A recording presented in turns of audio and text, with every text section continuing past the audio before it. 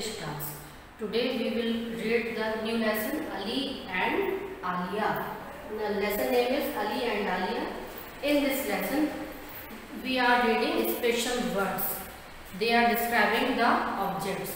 These words are known as adjective or describing word. In this lesson you have to read that Ali's engine is black in color and Alia's engine is blue in color and the green long train, the blue engine, blue small engine. So these words which are telling more about the noun that is called the describing words. In first sentence we have some examples here. First we have a black umbrella. So umbrella you know what is umbrella and this word black this is tell about the umbrella how it is. What is the color of umbrella? So here the word black is describing word and that is known as describing word is adjective word. So black is adjective for noun umbrella. What is the color of noun? Umbrella's color is black.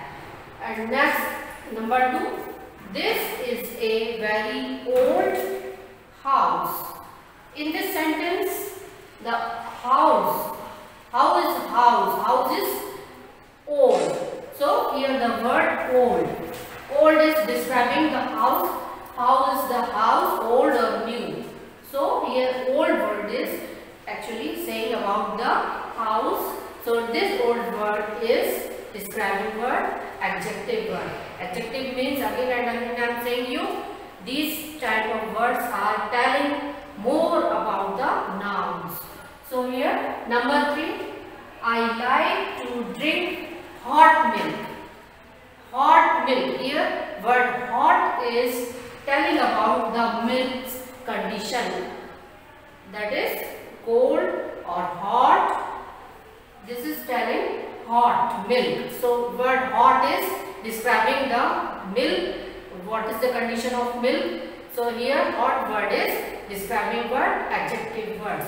I hope you all understand what is the adjective words so in reading you have to identify these type of words where they are in your lesson. Read it carefully and do understand what is adjectives. Okay